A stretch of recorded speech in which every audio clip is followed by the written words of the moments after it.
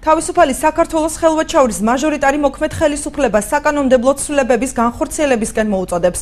მერე ბღოღობერიძის აზრით, მოსახლეობისათვის ის ერთჯერადი სოციალური დახმარების გაცემა საარჩევნო პერიოდში არ უნდა იზღუდებოდეს, რადგანაც ხშირ შემთხვევაში შემწეობა ბენეფიციარებისათვის სასიცოცხლოდ მნიშვნელოვანია.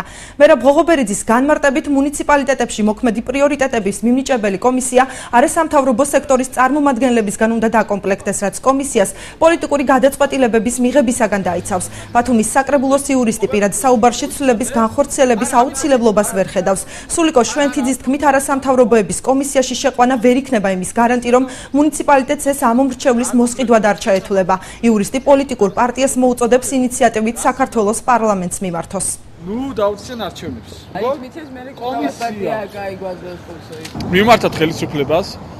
და საქართველოს პარლამენტს, გამგეობებსა და მუნიციპალიტეტებს, რათა ის ერთჯერად დახმარებები, რომლებიც გაიცემოდა აა გაიცემოდა წინასარჩევნო პერიოდშიც გაიცეს, ეს არ ჩაითვალოს, რა თქმა უნდა, აა ამორჩევის მოსყიდვაში კომისიაში დაკომპლექტეს ასევე მესამე სექტორის წარმომადგენლებით, რათა არ მოხდეს გაუგებრობა და თქვათ არ ჩაითვალოს მოსყიდვად და ჩვენი ინიციატივა რომ არჩევნების დასრულებამდე ამ ადამიანებს ვარს ნუ ვეტყვით, იმიტომ რომ შესაბამისად ამ ადამიანებს ჭირდება დახმარება. პარტიის წარმომადგენლებს